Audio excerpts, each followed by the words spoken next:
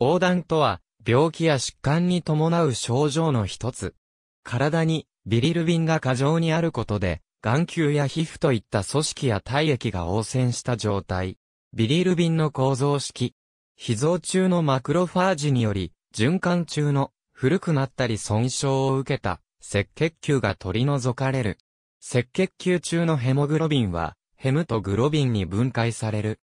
ヘムの分解は、マクロファージによって開始される。ヘムのポルフィリン管は、ヘムオキシゲナーゼにより、緑色のビリベルジンに分解される。2番目の反応として、ビリベルジンが、ビリベルジンレダクターゼにより、黄色のビリルビンに還元される。ヘム分解で生成された、ビリルビンそのものである水溶性の低い、非包合型ビリルビンは、結晶中のアルブミンである、タンパク質と結合して結晶へ放出され、肝臓に運ばれる。結晶中の非包合型ビリルビンは、肝臓でグルクロン酸包合を受け包合型ビリルビンとなり、胆汁中に放出され、胆道から十二指腸へ分泌される。なお、胆汁の主成分は、胆汁酸、いわゆるコール酸などである。十二指腸に分泌された包合型ビリルビンは、小腸の腸内細菌によって、脱包合を受け非包合型ビリルビンになる。この非包合型ビリルビンが、腸内細菌に還元されて、ウロビリ脳源となる。ウロビリ脳源は、小腸から再吸収され、尿と共に排泄され、小腸に吸収されなかったウロビリ脳源は、腸内細菌により、ステルコビリ脳源を経て、茶色のステルコビリンに変化し、大便と共に排泄される。これらの経路のどこかが破綻すると、高ビリルビン血症が起こる。なお、腸管内の非包合型ビリルビンとウロビリ脳源は、腸管循環によって、再び血中へ戻る。ウロビリ脳源は尿中に排出することができる。基本的にこの経路しか、ウロビリ脳源産出系は存在しないので、胆道閉塞では、尿中ウロビリ脳源が陰性となり、これは病的な所見である。なお、尿中ビリルビンという項目があるがこれは、包合型ビリルビンを測っている。水に溶けない非包合型ビリルビンが腎臓でろ過されることは基本的にはない。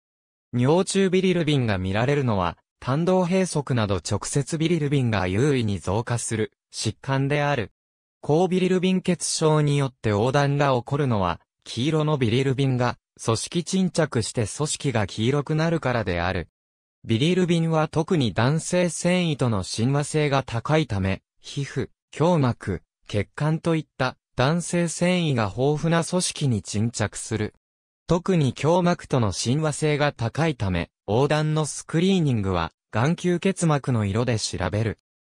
なお、応線はあくまで組織沈着を見ているので、血液性化学のデータよりは遅れて変動する。ビリルビンの組織沈着としては、皮膚以外に大脳基底核の沈着による核横断が有名である。これは、非包合型ビリルビンの内アルブミンに結合していない非包合型ビリルビンが沈着する。新生児に起こる疾患であり、ミルクを飲まない、もろ反射消失といった症状から始まり痙攣や後弓、反調を起こしてくる。経験的に T ビルが 25mg、デシリットルを超えない限り、起こるのは極めて稀で、今日の管理技術ではまず起こらない。出生後2日から2週間ほど出現する、正常人にも発生する横断。胎児ヘモグロビンが壊されることと、その結果生ずるビリルビンを処理する能力が新生児は未熟であることによって発生する。生理的横断は出生後3から5日で増強し、2週間以内に消失する。そのため、出生後24時間以内に出現したり、2週間以上経っても消失しない場合は、病的横断を考える。直接ビリルビン優位性、横断関節ビリルビン優位性横断新生児、横断光線療法を受ける。新生児新生児においては、生理的横断という言葉があるように、横断が出現しても正常な状態がある。これは、新生児の生理学的な特徴から理解されている。胎児期は、肝機能が未熟であるために、胎児期もはほとんどグルクロン酸保護を行わない。胎児期は、胎盤で母体血に水に溶けない非縫合型ビリルビンを渡すことで、高ビリルビン血症を防いでいる。出生後に起こる HBF の分解によるビリルビンの産出と肝臓の機能が未熟ということが重なって、生理的横断が発生すると考えられている。新生児横断は、新生児に見られる横断である。病態としては、高ビリルビン血症による。ビリルビンには水に溶けず、寿命を迎えた赤血球が破壊されて、アルブミンに乗って、体循環を経る関節ビリルビンと、アルブミンに乗り体循環を経た関節ビリルビンが、幹細胞内で、グルクロン酸保護を受けて変化した水に溶ける、直接ビリルビンの二つがある。新生児横断の分け方には、横断が見られる時期による分け方と、横断の病態による分け方がある。時期によって分けると、創発横断、生理的横断、遷延性横断の三つに分けられる。病態によって分けると、交関節ビリルビン血症、硬直節ビリルビン血症の二つに分けられる。総発横断は、生後24時間以内に見られる横断、生理的横断は、生後2日から2週間程度に見られる横断、遷延性横断は、生後2週間以上見られる横断である。治療としては、対症療法として、光線療法、結晶交換等がある。体質性横断非縫合型ビリルビンは幹細胞に取り込まれ、幹細胞内でグルクロン酸保護を受け、肝内胆管に排泄される。その過程に必要な酵素が欠損した病気を体質性横断という。一般に自覚症状が乏しい。診断学では、横断は一つの兆候として捉えられている。皮膚層溶感に関しては、若干の異論も存在する。ビリルビン以外の単重排出が正常である、体質性横断では、皮膚層溶感が出現しないことが知られている。そのため、皮膚層溶感は、高ビリルビン血症の症状ではなく、単重鬱体の症状であると考える者もいる。単重鬱体とは、単重が十二指腸に至らない病態である。単重鬱体を起こせば、通常は、高ビリルビン血症をきたすが、高ビリルビン血症は単重鬱体を起こすとは限らない。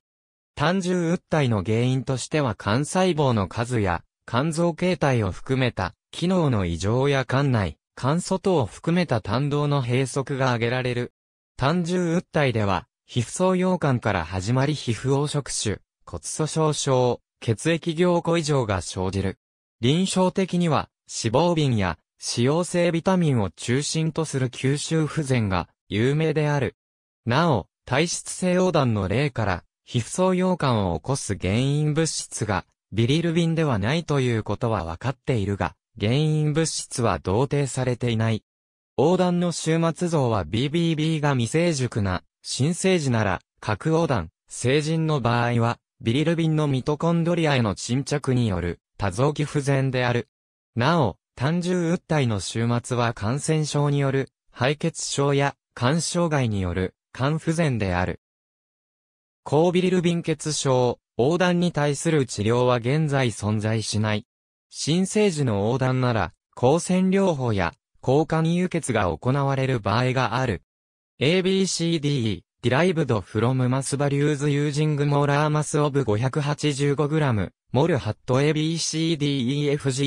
last page of Deepak Erao, Le, Tao, ブション、ビカス、ファーストエイドフォーザ USMLE ステップ1 2008ファーストエイド。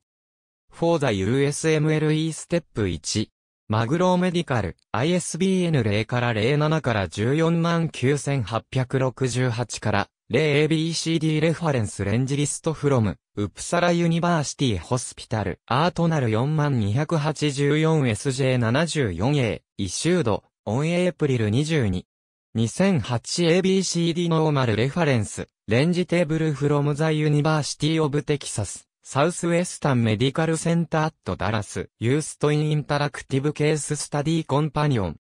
2パスオロジックベーシスオブディジーズ、AB、ディライブドフロムモーラーバリューズユージングモーラーマスオブ 585g、モルハット AB ブラッドテストリザルツ、ノーマルレンジズブラッドブック、コム。ありがとうございます。